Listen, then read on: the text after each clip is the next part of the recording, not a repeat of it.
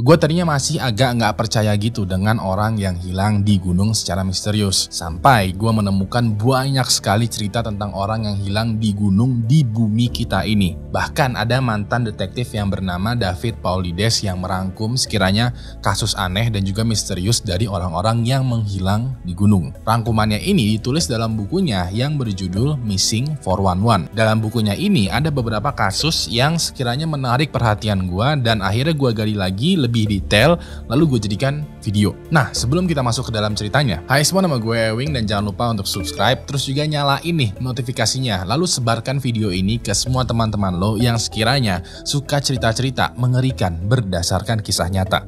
Kalau udah siap, langsung aja kita mulai kisah nyata mengerikan untuk episode kali ini.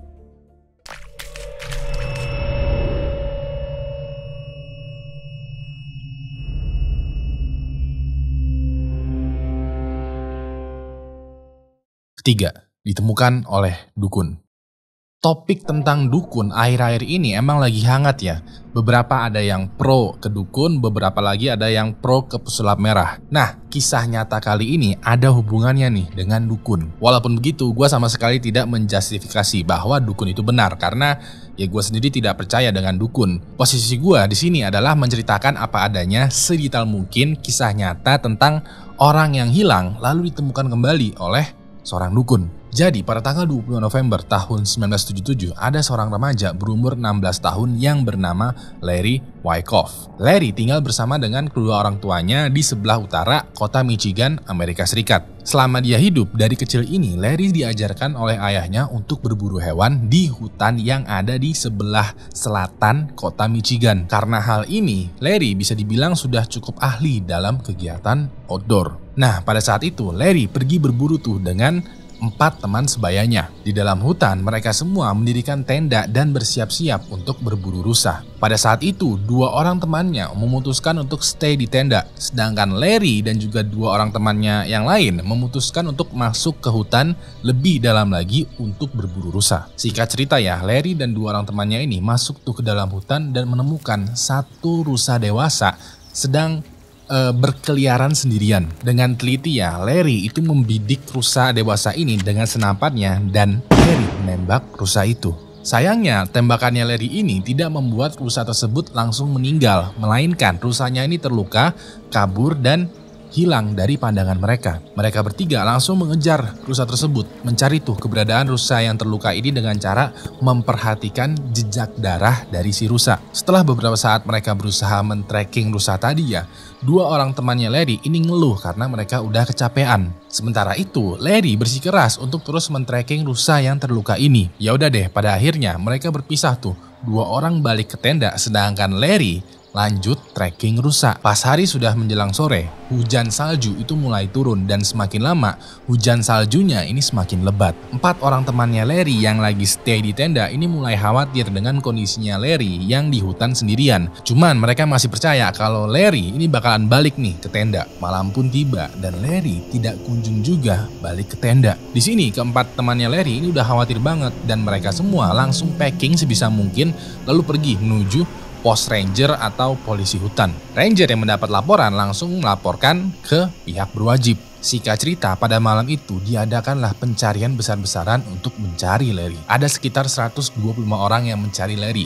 Orang-orang ini terdiri dari polisi, sukarelawan, ranger, anjing pelacak, dan juga helikopter yang dilengkapi kamera termal. Kamera termal bagi yang belum tahu adalah sebuah kamera yang bisa mendeteksi panas tubuh manusia. Jadi kalau kamera termal ini diarahkan ke hutan, nantinya kalau ada orang atau hewan gitu yang tertangkap di kamera termal, di layar kameranya muncul semacam merah-merah. So bisa dibilang orang yang mencari Larry ini udah banyak banget dan udah lengkap banget equipmentnya. Walaupun begitu, setelah 10 hari dilakukan pencarian ke berbagai macam seluk-beluk hutan, Larry masih juga belum ditemukan. Pada hari ke-10 pencarian, sheriff yang bernama Alan Hart yang memimpin pencarian ini, ini udah agak putus asa ya dengan misi pencarian Larry. Pas hari itu, tiba-tiba dia mendapat telepon dari paranormal atau dukun yang ingin menawarkan jasanya dengan gratis. Nama dari dukun ini tidak diketahui karena si dukun gak mau namanya disebut.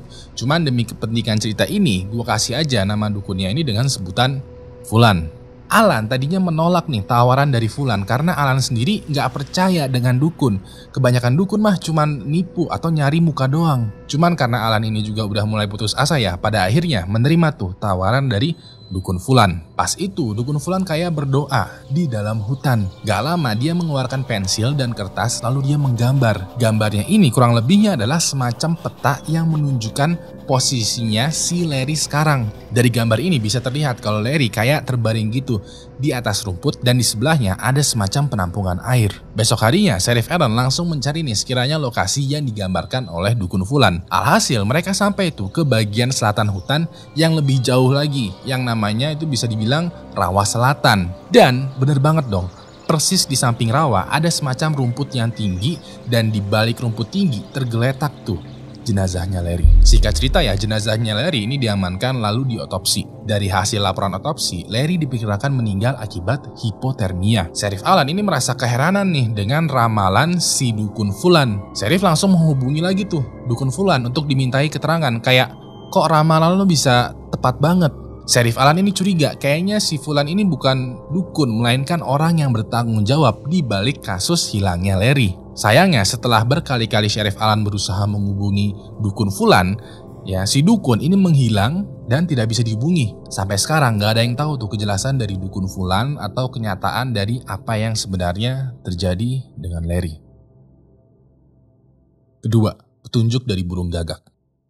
Kisah nyata orang yang menghilang di gunung kali ini benar-benar misterius banget sampai-sampai pihak kepolisian ini bingung dengan apa yang sebenarnya terjadi. Pada tanggal 19 September tahun 2004, ada seorang pria yang bernama Robert Springfield berusia 48 tahun. Robert ini dikenal sebagai salah satu anggota dari The Crow Nation Indian Reservation atau disingkat CNIR. CNIR bagi yang belum tahu adalah semacam cagar alam yang dikelola oleh suku Amerika asli, suku Indian. Nah, sedikit cerita ya tentang Robert. Semasa muda mudanya, Robert pernah join menjadi tentara Angkatan Laut Amerika Serikat. Pada saat dia bertugas, Robert pernah dikirimkan ke Australia, Jepang, Filipina, dan berbagai daerah di Amerika Serikat. Terlebih lagi ya, setelah Robert keluar dari militer, dia bekerja sebagai pemadam kebakaran khusus hutan. Selama dia bertugas, dia sering tuh mencegah kebakaran hutan di berbagai tempat yang ada di Amerika Serikat. Begitu umurnya menginjak 40 tahun, dia memilih untuk bekerja menjaga sebuah cagar alam yang bernama CNIR. So, kurang lebihnya ya, Robert ini adalah sosok pria yang fisik dan mentalnya itu kuat dan juga ahli dalam urusan outdoor. Pada hari itu, Robert bersama kedua putranya ini pergi camping di sebuah gunung yang bernama Black Canyon untuk berburu rusa menggunakan busur dan panah. Lokasinya ini nggak begitu jauh dengan cagar alam CNIR. Begitu mereka sampai di gunung Black Canyon, mereka langsung mendirikan tenda dan mulai masuk tuh ke hutan lebih dalam lagi. Pada siang yang bersalju itu, mereka bertiga melihat satu rusa sedang sendirian tuh. Robot memerintahkan kedua anaknya untuk stay di tempat karena robot bakalan berjalan pelan-pelan membelakangi rusa tersebut dan nantinya dia bakalan menggiring rusanya ini ke kedua anaknya. Kedua anaknya begitu rusanya mendekat, mereka bakalan memanah rusanya. Nah, rencananya begitu ya. Ya udah deh, kedua anaknya Robert ini nurut dong dengan perkataan bapaknya. Gak lama rusanya ini mulai kaget dan berlari tuh ke arah kedua anaknya Robert. Sayangnya kedua anaknya Robert ini tidak berhasil memanah rusa dan rusanya kabur begitu aja. Pada saat itu kedua anaknya ini terdiam ya menunggu kemunculan Robert. Cuman setelah setengah jam menunggu, Robert kok nggak muncul-muncul juga. Ya udah deh kedua anaknya ini langsung jalan balik lagi ke tenda karena yang dipikiran mereka adalah oh mungkin Robert ini balik duluan ke tenda. Pas mereka sampai di tenda, mereka tidak melihat tuh kehadiran Robert. Di sini mereka berpikir, hmm, mungkin Robert masih di jalan atau memutuskan untuk berburu sendirian kali ya. Mereka tidak begitu khawatir karena mereka tahu betul kalau Robert, bapaknya, ini adalah pria yang kuat, yang tangguh, mantan militer, dan juga terbiasa dengan kegiatan outdoor. Ya udah deh, mereka menunggu aja tuh di tenda ya. Sampai pas matahari tenggelam pun, Robert tidak muncul juga. Karena mereka berdua udah takut ya, cuma berduaan nih di hutan yang gelap tanpa ada pengawasan orang dewasa dan juga mulai khawatir dengan keselamatan bapaknya. Mereka berdua balik lagi ke base camp di gunung. Mereka berdua melaporkan kejadian ini ke ranger dan bilang bahwa kayaknya sih Robert, bapak gua, ini telah menghilang. Dari sini pencarian Robert pun dimulai. Singkat cerita, selama tiga minggu ya, pihak cagar alam, ranger, polisi, helikopter, anjing pelacak semuanya mencari keberadaan Robert. Tapi tidak ada satupun dari mereka yang menemukan Robert. Lalu sekitar satu tahun kemudian, pada bulan Oktober tahun 2005, ada nih orang random yang bener-bener asing banget dengan Black Canyon dan gak kenal dengan Robert sedang berburu. Kita sebut saja orang yang random ini dengan nama Fulan. Fulan berburu di sekitaran spot tempat Robert dan kedua anaknya berburu rusa tahun lalu.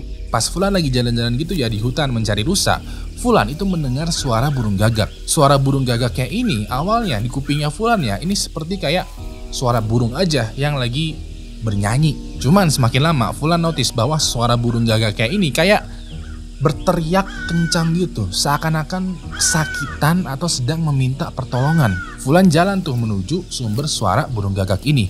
Pas itu, Fulan melihat ada burung gagak lagi hinggap di atas pohon yang besar yang setengahnya itu udah tumbang. Begitu jarak Fulan dengan burung gagak ini sudah cukup dekat ya, burung gagak ini langsung berhenti berteriak dan langsung menoleh menatap Fulan. Fulan terdiam tuh dan agak kaget juga dengan perilaku burung gagak yang aneh ini. Gak lama burung gagak ini kayak menundukkan kepalanya berkali-kali seakan-akan sedang menunjukkan sesuatu yang ada di bawah batang pohon yang besar. Fulan yang masih rada bingung ini berjalan ke bawah batang pohon dan di sana Fulan menemukan sebuah tengkorak manusia. Dengan panik ya, Fulan langsung kabur dari tempat itu dan berlari menuju base camp dan melaporkan temuannya. Singkat cerita, polisi dan ranger sampai di tempat penemuan tengkorak ini dan melakukan investigasi. Hasil dari investigasinya adalah selain ditemukan tengkorak manusia, ditemukan juga tulang paha dan tulang kecil-kecil. Selain itu, ada sepatu yang tergeletak rapih, celana yang dilipat, dan baju-baju atau jaket yang ditumpuk. Begitu polisi memeriksa baju-baju ini, ditemukan tuh dompet dan juga kartu identitas. Dan bener dong, ternyata tengkorak, tulang belulang, dan baju-baju ini adalah jenazah dari Robert. Polisi langsung melakukan otopsi, tapi nggak banyak informasi yang bisa diambil karena tulangnya Robert ini terlalu sedikit. Karena terlalu sedikit, penyebab kematiannya Robert juga tidak bisa dipastikan. Maka dari itu, polisi mengambil kesimpulan kalau Robert meninggal akibat tertimpa batang pohon. Walaupun begitu, ada keanehan lain yang juga perlu dinotis. Pertama adalah ke mana sisa tulang tubuhnya Robert? Apakah dimakan sama hewan liar atau melebur aja dengan tanah? Kedua adalah penyebab kematian Robert itu sebenarnya apa? Masa iya nggak ada hujan, nggak ada angin, nggak ada badai, tahu-tahu Robert tertimpa pohon? Kalaupun beneran tertimpa pohon, bukankah anaknya ini bisa langsung notice gitu ya? Minimal dengerlah ada suara pohon jatuh Ketiga adalah kesaksian Fulan ini. Banyak yang meragukan keabsahan kesaksian Fulan yang melihat burung gagak memberikan petunjuk. Tapi kalau tanpa bantuan burung gagak juga, Fulan nggak bisa tuh nemuin tubuhnya Robert. Atau apa jangan-jangan malah Fulan nih yang bertanggung jawab atas tragedinya Robert. Pertama, siang terus di hutan. Kisah nyata orang yang menghilang di gunung ini agak sedikit singkat, tapi kayaknya kasus ini memiliki kesamaan dengan kasus orang yang menghilang di gunung yang ada di Indonesia. Pada tanggal 8 Agustus tahun 1897, ada sebuah keluarga yang bernama keluarga Carney sedang piknik di daerah yang bernama Mulenbog, Maine, Kanada. Sedikit gambarannya, Mulenbog merupakan wilayah yang dikelilingi oleh kebun liar, hutan yang lebat, dan juga danau yang letaknya persis di perbatasan Kanada. Pada hari itu, keluarga Karni pergi piknik sambil membawa putri satu-satunya yang bernama Lilian yang masih berumur 6 tahun. Mereka semua piknik itu mendirikan tenda dan memakan perbekalan. Pas di sore harinya, Karni dan Lilian pergi masuk ke dalam hutan untuk memetik buah-buahan. Nah, pas lagi memetik buah-buahan, at some point ya, menurut kesaksian yang Karni, anaknya ini, si Lilian itu berlari menuju balik pohon yang agak besar dengan riang gembira. Namanya juga anak kecil. Nah, begitu disamperin sama Karni, entah bagaimana caranya, Lilian ini menghilang. Awalnya Lilian agak bingung. Dia berpikiran, loh anak gue ke mana? Karni mencari Lilian tuh di balik pohon yang lain dan semak-semak, tapi nggak ketemu juga. Pada momen itu ya, Karni langsung keringet dingin karena Lilian menghilang tanpa meninggalkan jejak persis di depan matanya. Singkat cerita, Karni langsung melaporkan kejadian ini ke pihak berwajib dan diadakanlah tuh pencarian besar-besaran. Polisi, sukarelawan, bahkan anjing pelacak dikerahkan untuk mencari Lilian. Awalnya mereka hanya mencari di sekitaran spot di mana Lilian terakhir kali terlihat, tapi semakin lama wilayah pencarian mereka itu semakin membesar. Keluarga Karni juga semakin khawatir dengan keselamatan Lilian karena pada hari itu langit mulai mendung gelap dan kayaknya bakalan turun hujan yang lebat. Eh bener dong pas sore harinya Hujan itu turun deras dan mau nggak mau misi pencarian dihentikan untuk sementara. Besok paginya hujan itu udah mulai berhenti nih dan misi pencarian kembali dilakukan. Orang-orang yang berpartisipasi dalam misi pencarian mulai melebarkan lagi tuh wilayah pencarian. Walaupun begitu, Lilian masih belum juga ditemukan. Lalu sekitaran 48 jam setelah Lilian menghilang ya, ada satu grup pencari itu menemukan Lilian keluar dari balik batang pohon yang besar. Pada saat itu, Lilian ditemukan 7 km dari tempat terakhir kali dia terlihat. Lilian terlihat juga sangat tenang dan memanggil ibunya berkali-kali. Grup pencari ini langsung memberikan sinyal gitu ya berupa tembakan ke langit memberitahu grup pencari lain bahwa Lilian ini telah ditemukan. Lilian pun segera diamankan dan dipertemukan tuh dengan Karni, ibunya. Singkat cerita, setelah Karni bertemu dengan Lilian, wah reunian yang sangat-sangat terharu ini ya, orang-orang di situ pada nanya tuh ke Lilian, kamu pergi ke mana? Nah di sini nih yang seru. Lilian bercerita bahwa pada saat dia lagi memetik buah bersama dengan orang tuanya, pas dia lagi berjalan di balik pohon, tiba-tiba Lilian tidak melihat orang tuanya. Entah kenapa ya, dalam detik itu juga Lilian langsung sendirian di hutan. Lilian sempat bingung tuh mencari ibunya ya. Dia mau nggak mau berjalan sendirian di tengah hutan. Pas dia lagi jalan-jalan di tengah hutan mencari ibunya, Lilian sempat mendengar banyak suara orang ngobrol dari balik pohon. Nah, setiap kali Lilian menghampiri suara misterius ini, kayaknya suaranya tuh berpindah tempat. Pada saat itu, Lilian sempat berteriak memanggil ibunya, tapi setiap kali Lilian berteriak, menurut kesaksian dia, ada gelandangan yang menyuruh Lilian untuk diam. Gelandangannya ini berbisik gitu kayak ke Lilian dari balik pohon. Oh nggak mau ya, Lilian berjalan di hutan sambil manggil ibunya, tapi pelan-pelan. Nah, pas lagi jalan-jalan gitu aja ya, Tiba-tiba dia ketemu dengan salah satu grup pencari. Ketika mendengar cerita Lilian, semua orang bingung dengan apa yang diceritain. Gak lama, Karni bertanya ke Lilian, Nak, kamu tahu nggak udah berapa lama nih kita mencari kamu? Lilian menjawab dengan santainya, Hmm, setengah jam. Karni lalu bilang, kita udah nyari kamu lebih dari dua hari loh. Lilian itu membantah dan bilang bahwa enggak kok setengah jam orang mataharinya nggak tenggelam, siang terus. Pas Lilian bilang ini, semuanya jadi makin bingung.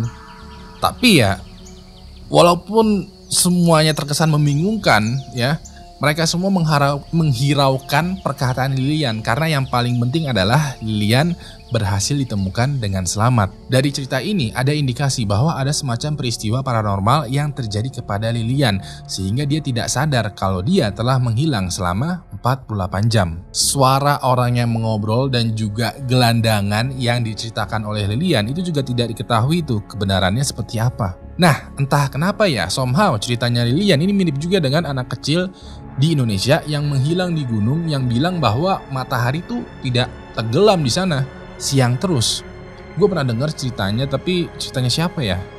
Gue agak lupa nih. Coba deh tulis di kolom komentar ya, kalau sekiranya lo tahu. Terima kasih telah memberikan gue kesempatan untuk menemani malam Jumat lo. Kalau sekiranya lo masih membutuhkan asupan horor, langsung aja klik video yang ada di sebelah kanan ini karena di sana gue membahas seorang wanita yang memecahkan kasusnya sendiri. Terakhir nama gue Ewing dan sampai jumpa lagi di malam Jumat selanjutnya. Good night.